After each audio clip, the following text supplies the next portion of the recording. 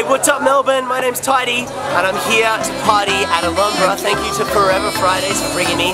This is going to be insanity.